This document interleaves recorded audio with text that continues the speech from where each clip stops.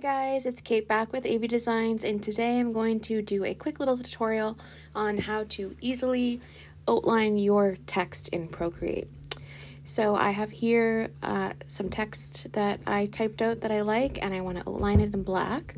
So what I'm going to do is go into my layers and I'm going to duplicate the text and then uh, working on the bottom layer I'm going to highlight it and turn it black.